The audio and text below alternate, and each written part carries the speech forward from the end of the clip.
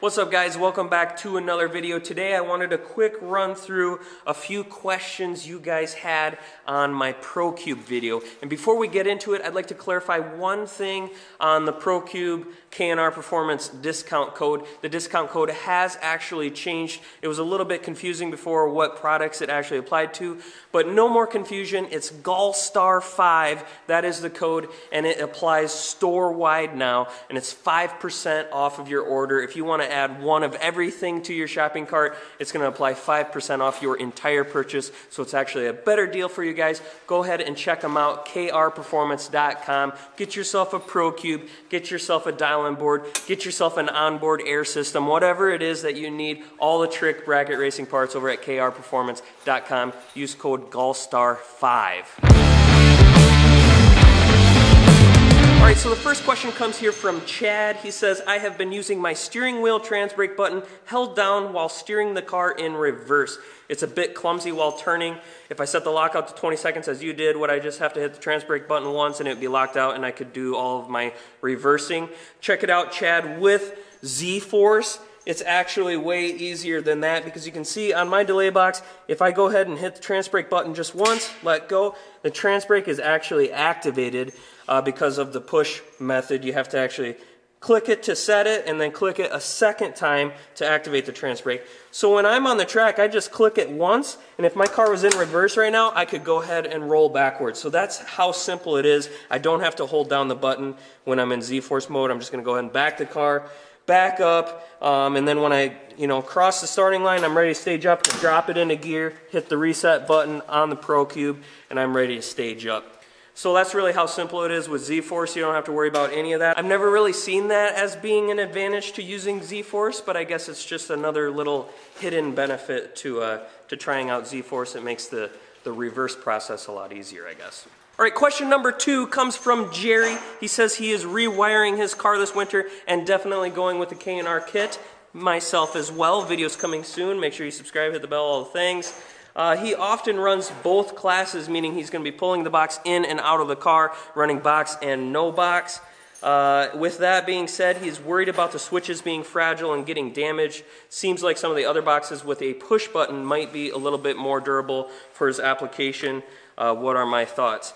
Well, Jerry, I'll tell you what, the uh, ProCube, the switches on here, although, I mean, I can see that as being a concern, potentially, but I have never seen uh, one of these switches broken before in all of my experience with it. I think the box is super durable. These switches are are really strong and they're really short. So I feel like it would really take, you know, you dropping it maybe just right on the pavement or something if, if you're going to actually bust one of those switches off. Um, some of the other delay boxes out there, like you mentioned, some of the delay boxes with the uh, flat buttons, the durability issues I see with those is they have a huge screen on them, and I've actually seen a, a couple of those screens go bad over the years, and uh, so that's not an issue that you run into with the ProCube. So as far as durability goes, I think there's pros and cons to, to all the products out there, but uh, I've never seen a problem with a ProCube delay box as far as durability goes. Question number three comes from Jim. He says, thanks for running through the operations of the ProCube. Still curious about the starting line routine and getting consistent with Z-Force. I'm sure it's just a matter of practice and making passes, but definitely would be interested in a video on starting line techniques and routines. All right, I'll tell you what, Jim, we'll go ahead and do it, but it's really not that uh, difficult to drive this car. It's pretty simple, but we'll go ahead and run through uh, a pass, I guess. We kind of have the car completely tore apart, so you might be able to see everything as far as shifter goes and everything anyway. So I'll just hop in the car and we'll, uh, we'll run through a pass quick. All right, so assuming we're strapped into the car, we got the helmet on, we got the neck collar on, all the safety gear, uh, arm restraints, buckled in with the Pro One seat belts we're ready to go on to a pass. So it's pretty simple. We're going to fire up the car by making sure the battery is turned on, turn on the ignition, and then hit the starter button. Um, after the car is running, we'll go ahead and make sure the temperature is good. Here's the water pump. We'll have the water pump on. We'll turn the fan on once we once we reach 150 degrees. I always like to monitor my temperatures very closely. Uh, make sure that I always have the the consistent same uh, water temperature and transmission fluid temperature every time I stage the car as close as possible, obviously for consistency. So those are those controls. Uh, we'll go ahead and drop the car into gear, roll through the water into the burnout box. I will shift up into high gear, and this right here is the rev limiter for my burnout. So we'll go ahead and click that button down, hold it down, uh, roll the car forward in high gear, stomp on the throttle, do the burnout, let off nice and easy. We don't want to chirp the tires. That's going to put a nice glazing on the tire. It's actually going to hinder your traction on the starting line. So we like to let off of the throttle nice and easy and try to minimize that chirp, that burp, that chirp sound that happens right at the end of the burnout. We want to minimize that. So ease off the throttle, come out of the burnout, let go of the burnout button, and uh, hit the brake pedal and stop the car. I like to stop the car as quickly as possible after the burnout. I don't like to be rolling around on the track any more than I have to for fear of getting any kind of contaminants or anything on my tires. So, after the burnout is complete, go ahead and go all the way up to park. Then I like to drop it back down into reverse. At this point, I'll click the trans brake button one time. You can see that the trans brake is now activated and the car is backing up in reverse. So I'll go ahead and back up and again, I barely, barely pass the starting line. Again, I just don't like to roll around on the track any more than I have to. I like to minimize the distance that my tires travel between the completion of the burnout and staging the car. So I don't like to back up any extra than I have to either. So I'll back up, barely pass the uh, stage beams, stop the car. I'll go ahead and hit the reset button that uh, now the car is not going to be backing up anymore. I hit the reset button, go ahead and drop it into low gear car is in low gear. Now I'm ready to stage the car. So this is where uh, the kind of the starting line routine that you guys were asking about comes into play. There's there's not much to it, but this is what I do. I try to stay nice and calm and relaxed in the car. I, I typically see two approaches at the racetrack either the people that are super, super tense and release really violently. Uh, there's a lot of people that do that, and they do that with a lot of success. And then there's the opposite, which is what I do. And I kind of get really slouched down in my seat. I get super relaxed. I get this whole arm kind of supported on my side here so that I'm not, I don't have any tense action going on at all in this arm.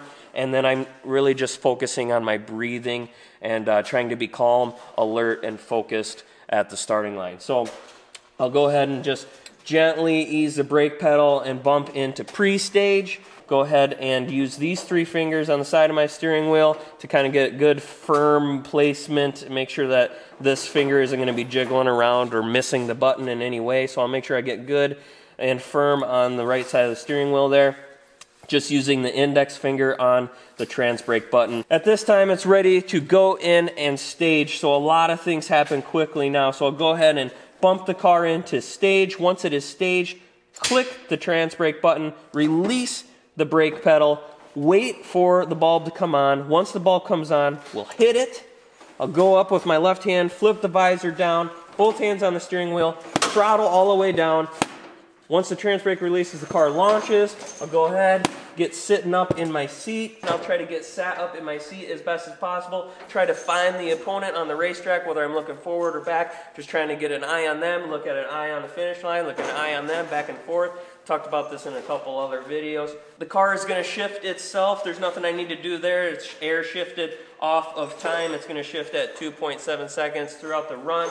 Go through to the finish line hopefully I can run the wheel on the guy and get to the line just in time. Hopefully my wind light comes on, everything is good. If not, I'm, uh, you, guys see my reactions uh, in the videos. So let off the throttle, um, watch the oil pressure as I hit on the brakes. As the oil pressure is going down, it's going down. If it's going down too much, and I'll let off the brake a little bit. That's kind of how I slow the car down is by watching the oil pressure gauge on the dash.